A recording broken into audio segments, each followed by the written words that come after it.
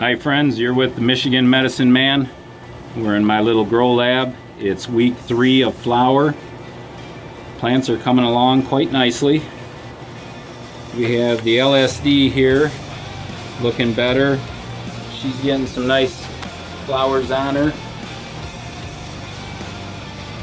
This plant's really been stressed out after four months of vegetation. Really an over-veg plant, but I think she's still going to produce pretty good. Back here, I have my strawberry lemonade. I just finished lollipopping this plant, and all the plants are, are lollipop now since the last video, uh, the final lollipop, and I do a little bit uh, a couple times in veg and then the final time in week three of flower. And then over here, a monstrous peyote critical. Look at the nice flower development on that one. Boy, she looks good all over.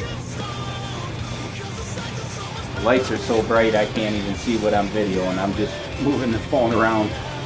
Okay, over here we have the, this is my smallest plant in the room. This is a, a peyote critical, but by far the biggest flowers in the room. She, she just got some nice buds on her. And then we come over here and we have the, I would say the Peyote Critical and this Blue Dream are a tie for second place.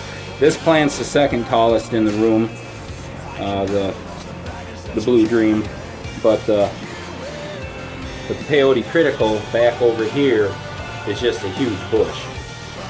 And it's getting some big flowers on it as well. But this is looking real good. Colas are starting to develop. Very good strain, the Blue Dream. Tastes like blueberry.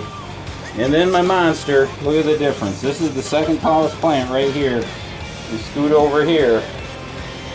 And this is the strawberry lemonade.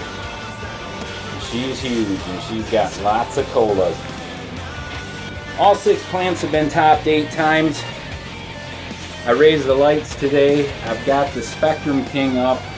Right now it's 20 inches over the few tallest branches and about 22 inches average over the canopy. Um, those are a real powerful light, so they can be spaced a little further for an LED. They run a little hot for an LED too, I'll say that. They've got my room hot right now. And this one, I could probably raise it a little bit too, but the Blue Dream looks like it's doing good. She's not burning. Doesn't look thirsty. I've only been giving him a third of a gallon still of nutrients. And week three, flowers are coming along nice. And been almost 24 hours since they've been fed and you can see they're not thirsty. Uh, I could probably squeak by with a little less, but I'm real comfortable with a third of a gallon of nutrients. So, okay folks, we'll take another video in a week from now uh, when they're looking even better. Peace out.